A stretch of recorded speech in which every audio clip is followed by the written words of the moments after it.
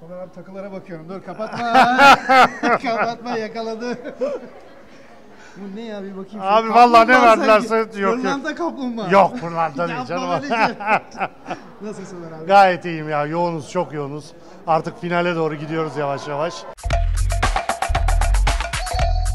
Keyfimiz yerinde ama bitsin ya. Vallahi yorulduk. Sertab Erener gecesi.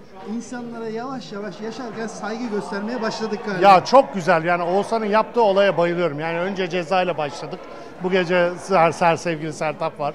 Ee, çok güzel gerçekten insanlara yaşarken bu saygıyı gösterebilmek e, çok büyük bir lüks. En sevdiğin Sertab Erener şarkısı. Ya ben Lala hastayım yani benim e, çok da romantik anları vardır bende 18-19 yaşında Girelim mi gençliğimi.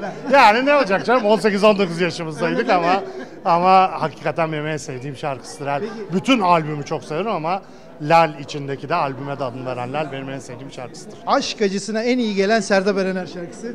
E, Lal bayağı iyidir yani. Ah şişede Lal hem de, hem de Ay Hilal.